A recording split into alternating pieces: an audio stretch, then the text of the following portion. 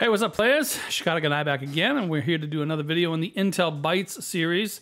And today we're going to go ahead and do one here about group policy preferences, and we're, it's going to be more of a red teamish type of um, type of talk.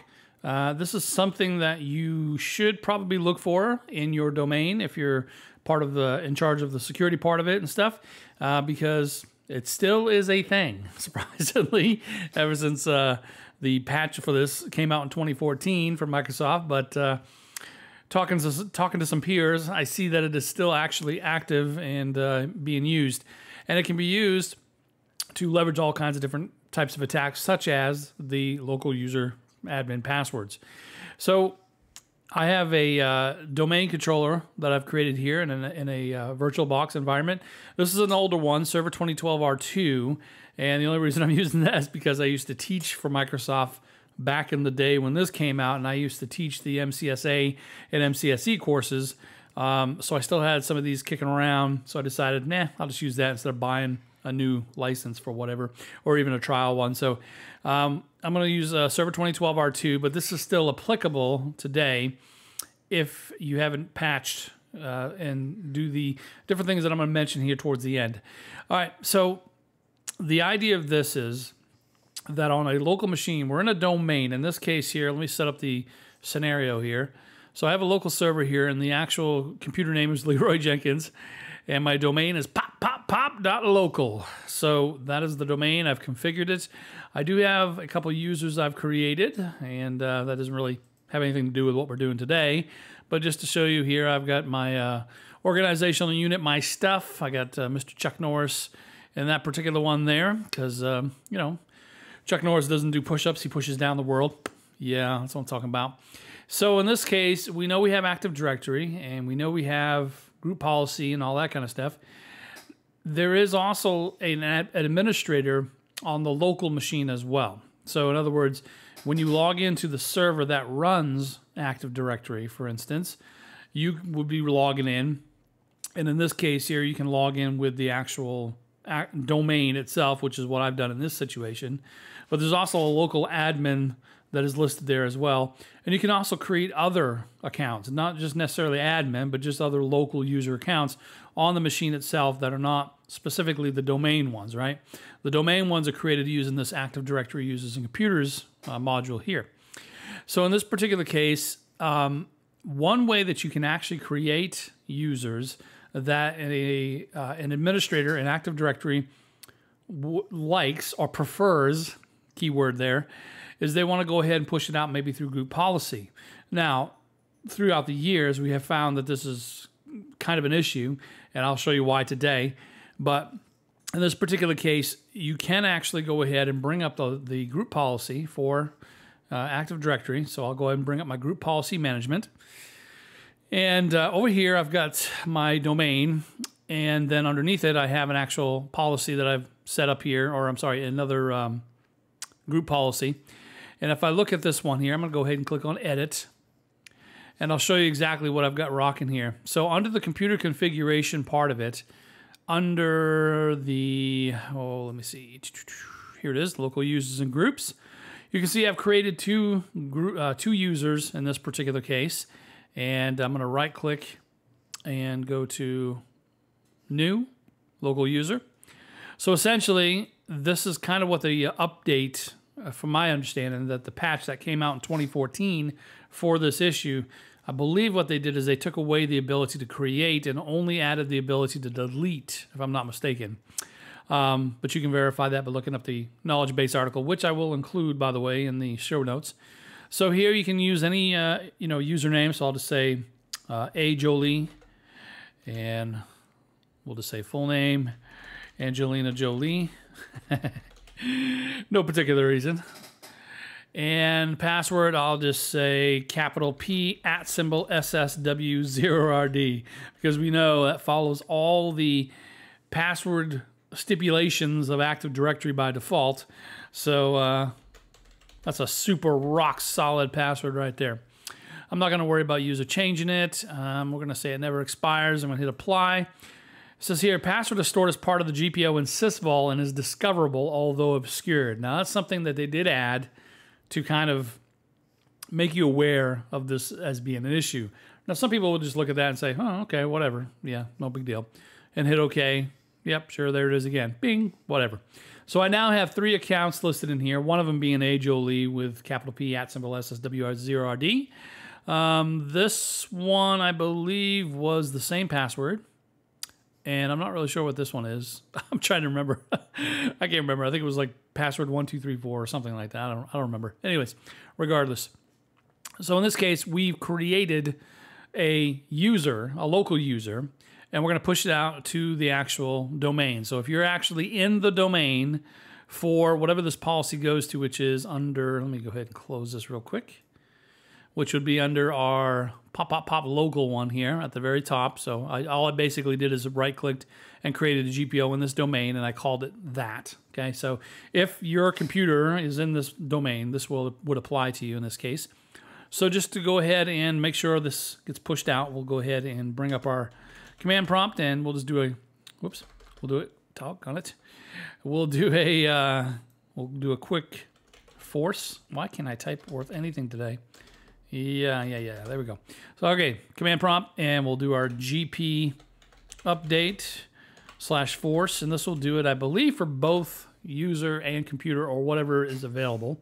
And it looks like my camera has fallen. So give me one second. Sorry about that.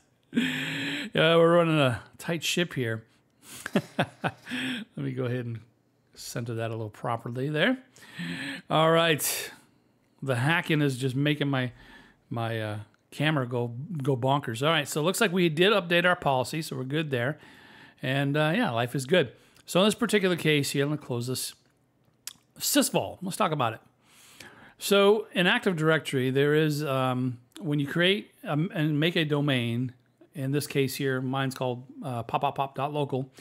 It creates a database file. Now, don't think of the database as being the same as like SQL, right? Uh, you know, like MS SQL or MySQL. This is something a little bit different, but it is the actual entirety of Active Directory's, you know, the guts of it, and it's located under C Windows and then NTDS. And this little file right here is the one that's going to continue to keep expanding as I keep adding users to it, things like that. So a little basic Active Directory tutorial for you here. This is a big time file for Active Directory. This is what we need. This is what we are, we are creating for Active Directory. There's also a local share because whenever you do group policies, they have to go somewhere. And the standard user, the domain user, that is not an admin, a domain admin, but is a domain user, and the computer is joined to the domain, they actually have read access. This is a publicly shared location called sysvol, which is right down here under Windows as well, right there. This is publicly shared, and just to verify, I'll show you that it is a share in this case. So if you go to command prompt and you type in net share, it'll show that indeed there is our sysvol right there. Shows the location of it. So this is a public one essentially um, where the group policies that are made are going to be listed here. For example, if we open up sysvol and we open up our domain and we go down to policies, you'll see there's a few different ones that are listed here. The reason why there's three of them is if you come back here, you'll notice there's this one, there's this one, and then there is this one. So these two are here by default when you install group policy. So those two, the contents of those two are in one of these two. I just don't know which one, but it's in one of these two. And then the third one is in one of these here. And then when you go to it, you can look at the GPT of it and look at the versions. But if you go and look at Machine, Microsoft, Windows NT, SecEdit, these are policies that are set. So this is likely, by looking at it here, is probably the um, the very top one. I can't remember the name of it. Anyways, default domain policy. So this is an example of having to have these things, these folders and these locations here in a readable format by the standard user because you have to send the group policies to the domain user. So in order to do that, they obviously have to be able to have their computer be able to read it. So they do have read access to it. They can't modify it. There's no write access to it. But but the ability to read it gives us a little bit of an issue. Now, what I just did with the preferences one it actually takes the domain that I've created, I'm sorry, the uh, password, what I created for those three accounts, and it puts them in a file called groups.xml. So if we go to sysvol and we click on groups or we search for groups XML, we will find this file here. Okay. So if we go ahead and pop open that, we'll see three accounts. We see our L, L, ah, L Jenkins, we see our R Comfer, and we see our A Jolie. So here is something that is kind of interesting. As I told you, L Jenkins was capital P at symbol S as W0RD, and we can see it starts O H A K Y X N, blah, blah, blah, blah. Well, I told you the same one was for A Jolie. It's the exact same hash. So my guess is, as an attacker looking at this, in other words, if an attacker compromises a domain user, they have access to read this file. That's where I'm getting at. But I can see by this that if I were to crack this one, I would also have the password for this guy, right? So as an attacker, that's pretty attractive to me because uh, one password will go for two accounts. So in this particular case, this is what they would call the C password. And essentially, there is some base 64 that happens, but it's also encrypted with AES. Now, in the past, if I'm not mistaken, before the patches came out, I believe it was actually done in DES, if I'm not mistaken. I could be wrong, but I, th- I think it was DES, which is an older encryption. So they did improve the encryption of it, and they moved it to AES, and uh, AES is the government standard. Essentially, it's it's kind of the top dog when you think about symmetric encryption. It goes up to 256 bit. It is pretty solid. The only issue is though, they published the AES key for some unknown reason in an MSDN blog uh, way back, you know, before 2014. Uh, kind of like an oops moment where they, everybody had the actual AES decryption key. Therefore, they know that they can use that particular key to be able to decrypt whatever is here, right? So there is some different scripts that are out there. There's some Python scripts. There's some PowerSploit scripts to automate this. Red Rabbit is a uh, tool that you can use for that as well. Secure the logs, pretty cool stuff. Um, but in this particular case, I have one I've got here, and I call it GPP Decrypt. And you can see right here, public available AES key at this website here. So this particular blog, if you were to look this up, and I'll put this in the show notes as well, you can see that this is the actual AES key for it. So it's kind of baffling why they did that. They did something similar with um, secure boot as well. So I don't know if Microsoft just needs to stop writing blogs or what the deal is. But anyways, regardless, so it does a little bit of base 64 decoding, then it goes ahead and uses the AES key against the actual C password. So for this script to run, what it's looking for is it's looking for a value or an argument of C password. So I do dot slash GPP decrypt PS1, and then I pop in the uh, actual password, or I'm sorry, the um, whatever this is, the uh, C password. So I'm going to go ahead and copy that real quick. I don't know why it's not letting me do that. So let me copy this.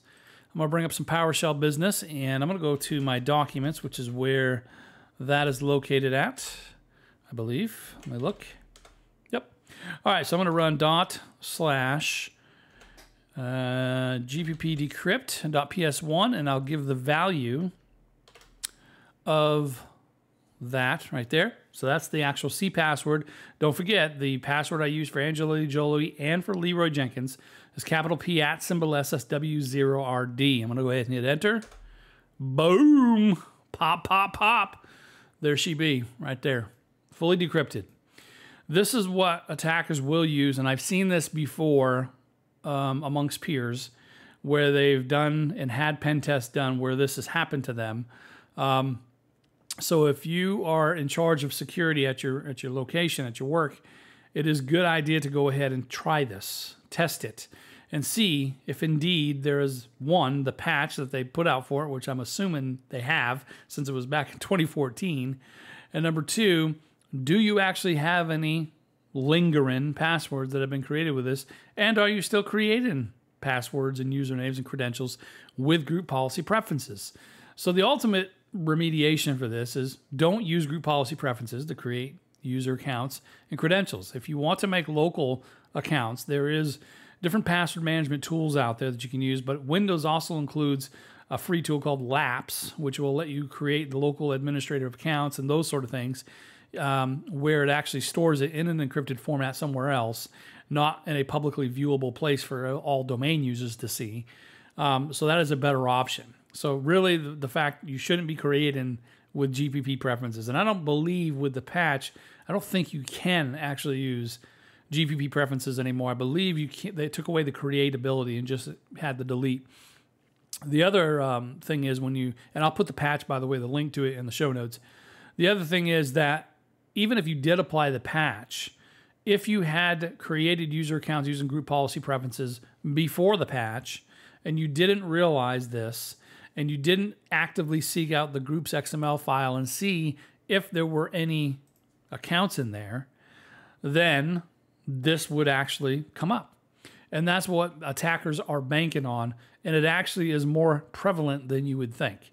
There is actually quite a few that have created these in the past and they've never really understood what the patch was for and they never understood what the group's XML file was and if they can, you know, if they will be able to go ahead and um, get rid of that stuff. Now, on the knowledge base article that I'm going to put in the show notes for Microsoft's remediation, one is the patch. Number two, they also have a PowerShell script you can run to look for any group's XML or any type of um, file that would contain passwords that this would be actual vulnerable to. So it's a good idea to grab that script and run it to verify do you have any lingering somewhere on a domain controller anywhere in your domain, in your forest or what have you. Um, because if it is there, this is not difficult to pop. And this happens a lot. I see it in pen test reports when I look at different um, write ups like online and stuff. I kind of look and see how different pen test reports are done, that sort of thing. So I get a little bit better at myself at writing pen test reports. I kind of look at some other ones, and I've seen this pop up more than once. It is a it is still something that happens, but um, I would definitely check to make sure that you are not vulnerable to this. And if you are, delete everything in Groups XML, get rid of it and don't use group policy preferences again for this. And again, I don't believe with the patch that you can. So find a better alternative for creating local administrative accounts like Laps or or maybe there's a new tool that they've created for the new server versions and I haven't been keeping up, um, or another password management tool to be able to do it, maybe Beyond Trust or something. I don't know. I'm just throwing names out there that I've heard. I'm not endorsing anybody, so don't say, "Hey, you know, Chicago Guy told me to uh, use this tool here." I'm not. I don't really know. I'm just throwing names that I know perform this particular action. So hopefully that was informative to you, and uh, I'm hoping during this channel uh, for Intel Bytes that I can do also the OSN stuff and the cyber threat intel, but also throw a little bit of red team action in there as well, because I had done one earlier on MS Build. Um, so to prepare you guys for helping you within your domain to be able to fix these issues before some attacker finds it for you and then uses it to leverage it. Because if you are like a lot of companies, a lot of companies will use the same local admin password on many machines. Therefore, if a person were to go ahead and get this password and they were able to log in locally with that particular admin password and found out that the 50 other domain controllers or 50 other servers have the exact same password, they can try to perform a pass the hash attack. They can try to log in directly with the same password over there. So, therefore, uh, if you are using local passwords and you're managing it yourself, the key thing is do not use the same password on multiple machines. If one is compromised, that means lateral movement. That means more machines are compromised. You do not want that.